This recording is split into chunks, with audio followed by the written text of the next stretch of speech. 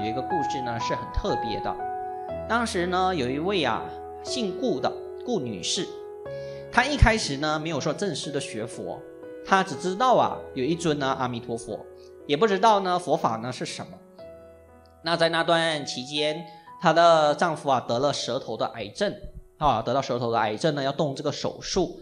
哎，顾女士呢担心说呢，哎这样子的手术啊，所以就向这个阿弥陀佛请求说，如果这个先生啊手术啊能够过关的话呢，那我就来念佛。他跟佛呢是这么祈愿的，我的先生能够好啊，我就来念佛啊。一般人都这么讲的。这位先生也不是说太过严重，只要切掉部分的就好，只是说呢，毕竟是手术啊，他还希望说呢一切能够顺利。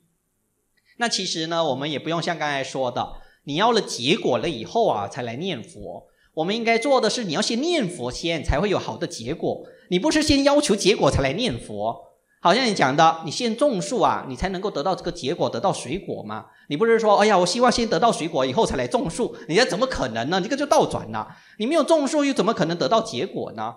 啊！但是阿弥陀佛始终是慈悲的，哎，众生有缘，他虽然糊里糊涂的，你有缘呐，那佛呢就到了。结果呢，先生这个手术呢还是很顺利，甚至可以说啊是一个奇迹。为什么医生就跟他们说，一般来讲啊，动这个嘴巴的啊，切割手术啊，通常呢，嘴巴、喉咙啊都会大出血的啊，都会流很多血的。但是啊，先生呢很特别，就完全呢没有流血，没有出血。所以医生呢就说，做了这么多的这么多次的手术啊，那这一次呢还真的是最特别的一次。他先生这个伤口啊也恢复的非常的快，恢复的很快。那在医院的一天早上。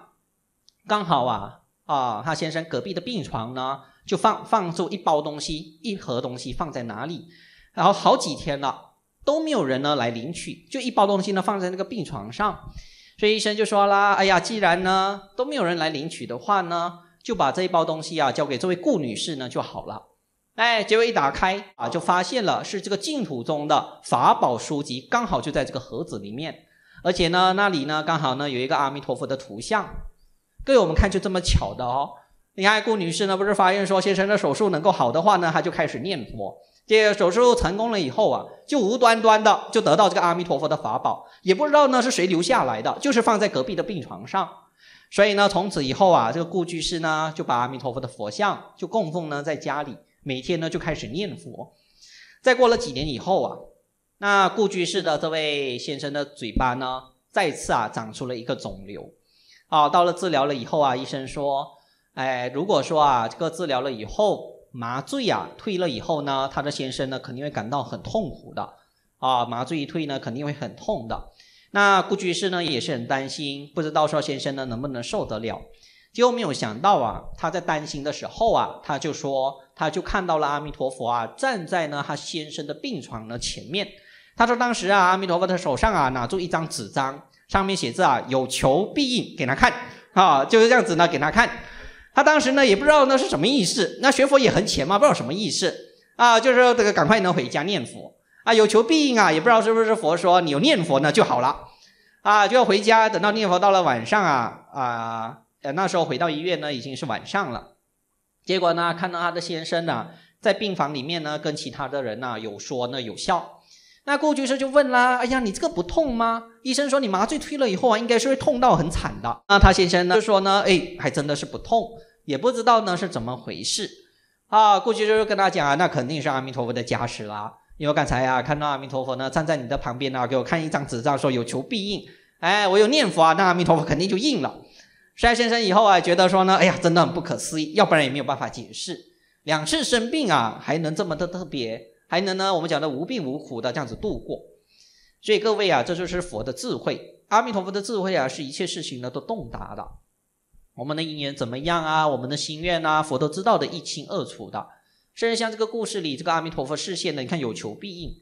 我们看当时呢，这个顾居士啊，他身为太太嘛，只是在那里心里担心，他还没有知道呢要求，也没有正式要求，结果看到阿弥陀佛呢，拿住啊这个有求必应的字呢就出现了。就是让他不要担心，有念佛啊，佛一切呢都知道，佛呢都会给我们安排的。所以虽然说呢，我们过去呢造了很多不好的业啊，会有呢不好的果报，但是如果说遇到阿弥陀佛啊，佛是能够给我们转换的。就好像现在啊，我们不小心像一个图案一样，你要跌倒了啊，你看要掉下去了，但突然呢，有一个人呢伸手呢把我们顶住，把我们救上来一样。所以呢，不是说啊，这个命运永远不能改的。有人说呢，哎呀，这个因果啊，过去种什么因，肯定会得到什么果，所以自作自受。你这个道理啊是没有错啊，因果呢是不会骗人的。过去我们造业肯定会受这个果报，但是呢，这个因果呢还是可以改变的。其实你想想看，如果你讲因果不能改变的话呢，就是说不能改变命运。如果说你不能改变命运的话，你为什么还要来念佛呢？你不能改呀，那你就不用念佛了吗？你该堕地狱还是要堕地狱，这就不能改的。所以讲呢，念佛因果不能改也是不对的，因果是可以改的。要改变这个因果啊，就需要靠这个佛的缘分。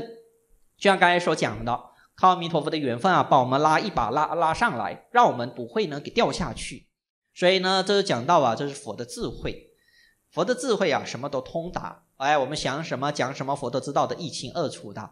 所以呢，有事无事啊，跟佛呢沟沟通，哎，讲讲话呢是挺好的。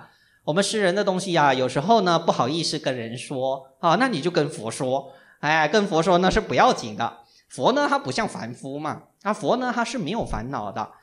南无阿弥陀佛。南无阿弥陀佛，南无阿弥陀佛，南无阿弥陀佛。